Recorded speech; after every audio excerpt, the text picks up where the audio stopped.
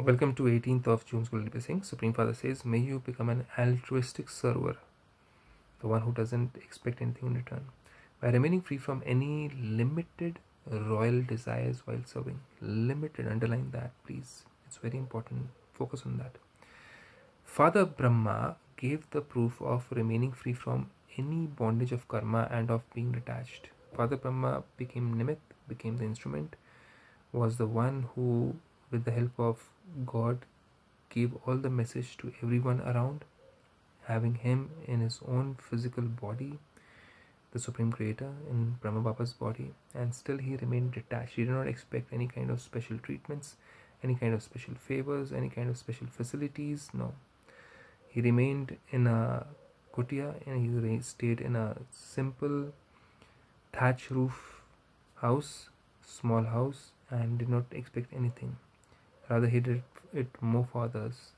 Apart from doing service and having love, there were no other bondages.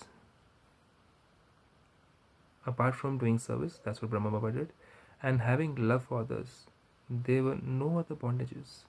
Limited royal desires in your service also bind you in a bondage of karmic accounts. Why? You do some kind of service whether it's your through your mind whether you, through your words through your actions or through your physical body tan man your mind and dhan means your wealth.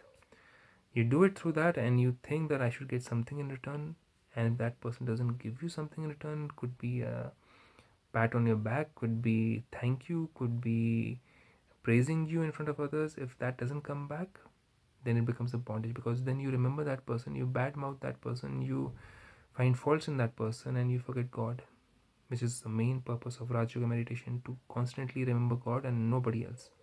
Limited royal desires in your service also bind you in a bondage of karmic accounts. True servers remain free from even these karmic accounts because they're true servers. Why? Because they don't have any kind of expectations, whether physical, whether non physical.